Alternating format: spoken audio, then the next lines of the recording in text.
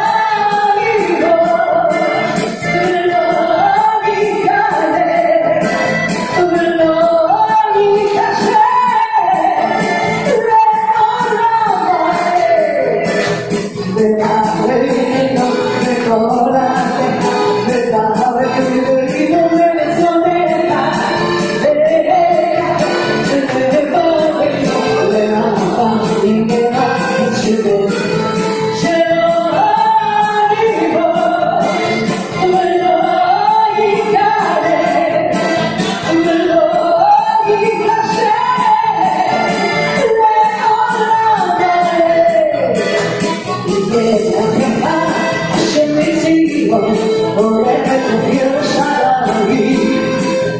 shadow of me.